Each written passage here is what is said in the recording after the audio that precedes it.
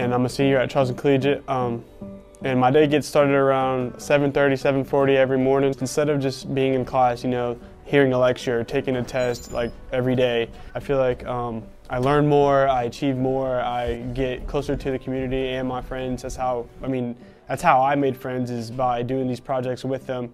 Because when I first came here, I didn't know anybody. It was my first year. Um, it was really hard to make friends. So by doing those projects, I was able to make friends also. The quality of education is really good. Um, there was many opportunities that the scholarships have given me, um, such as me being able to play sports, um, as well as um, attending uh, camps that I've not been able to attend. After I graduate high school, I plan on um, continuing my athletic career in uh, football at Brevard College and majoring in arts and architecture and eventually becoming an architect. Aaron is just one of 29 students who is at Charleston Collegiate because of the generosity of Briars Creek members. Together with the McNair Foundation, this year the scholarship fund at CCS is nearly $300,000. And of course, to celebrate and raise funds, it's the annual McNair Invitational at Briars Creek. Good morning, everyone. Welcome to Briars Creek. Um, welcome to the Robert and Janice McNair Invitational. It's wonderful to have you here today. Um, this event kicks off our year of just some wonderful tournaments here at Briars Creek.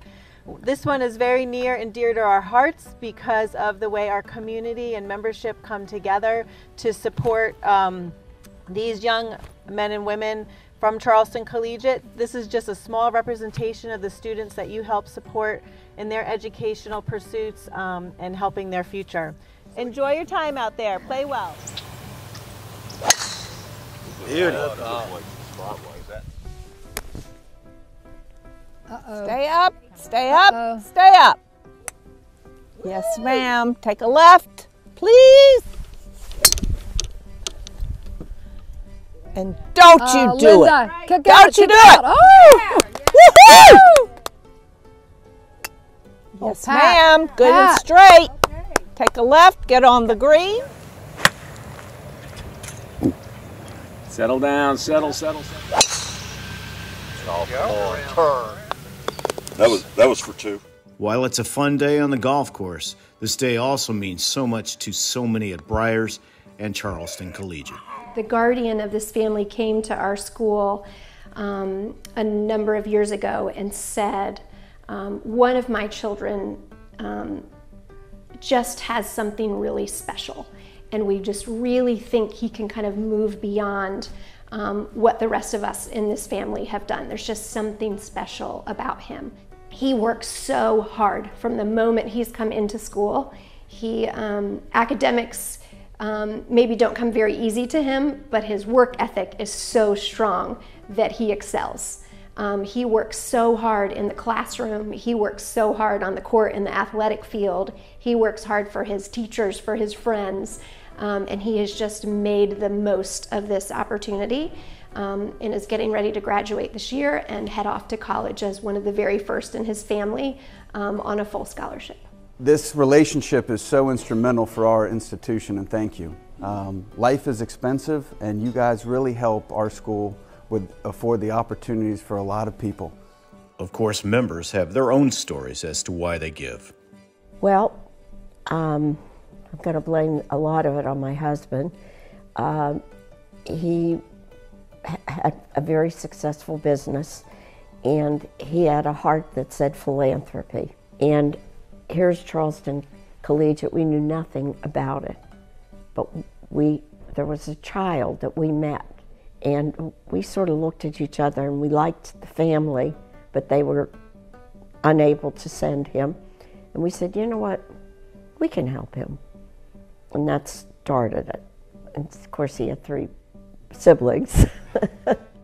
And that philanthropic spirit that Mrs. Baker speaks of has spread to so many other Briars members. Uh, we identify with the mission of Charleston Collegiate. Uh, most of us personally have benefited from good educations ourselves, and it's kind of a privilege to be able to uh, give back and help kids in this area ensure that they get the same quality education we all have. And certainly when we realize that the staff um, and their uh, families were, uh, you know, greatly assisted by the scholarships that this uh, program uh, supports, it, it makes it really an easy uh, an easy thing for us to do. We were introduced to Charleston Collegiate when our son Avery, who's now in college, uh, he's at the College of Charleston, he was in fifth grade, and our daughter Zoe was in first. And Greg and I went over for a tour, and it was because of Ruth Baker. She said, um, You have to go see the school. And we went over there, and I said to Greg, we walked out, and I think I was literally crying because I was like, There's something so special about that campus and place when you go on. Um, you, you see the children laughing, you see the halls filled with art, you see students come up to you and are interacting with you. And I left and I said, This is, our children have to be here. And quite frankly, we couldn't be there without the scholarship program. I came here in first grade and I was a very shy little girl. Like I, yeah, I was very shy and quiet.